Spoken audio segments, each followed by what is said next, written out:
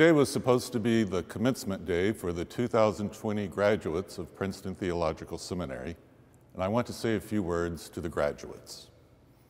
The Board of Trustees just met virtually and conferred your degrees, so you are no longer students, but now cherished alumni, and I extend to you my heartfelt congratulations on the completion of all of your hard work to get to this day.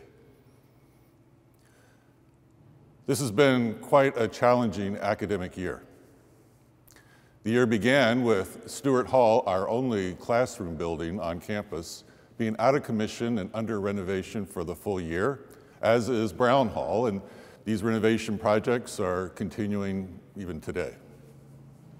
As we moved into the fall, the seminary community was torn by the tension and hurt created by our response to the historical slavery audit.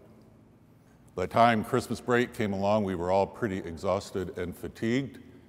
But then on New Year's Day, the seminary chapel flooded, and the damage was so great that it's been closed for the rest of the semester as well, as we have been making repairs to it. And then in March, we all began to shelter in place in response to COVID 19. Students who came from all across the world to come here to be a part of a residential community of faith and scholarship found that they were back home completing their semester online. Those who were in our dorms were evacuated quickly into vacant apartments. We who aspire to be a covenant community had to learn that social distancing is a means of loving. One of the hardest days for me was last month when I had to write the seminary community announcing that we were postponing commencement until May of 2021.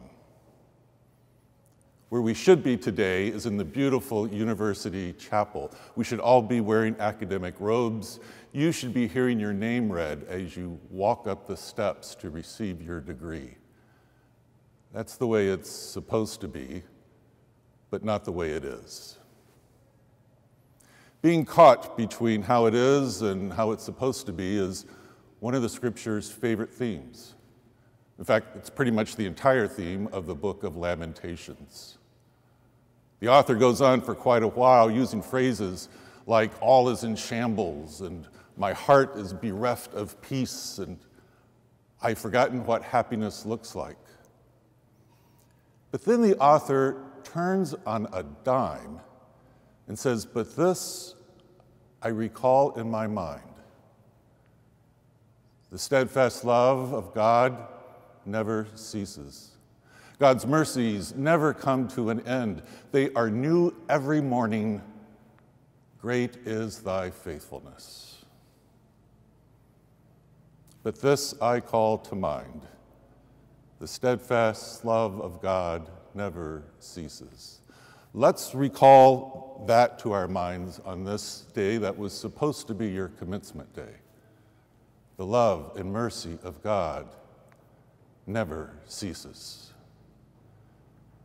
God's love is the most powerful force in the world. It is out of love that God created the world in your life and all life. It was out of love that in Jesus Christ, God entered our lamentations dying to love us, rising to give us new hope.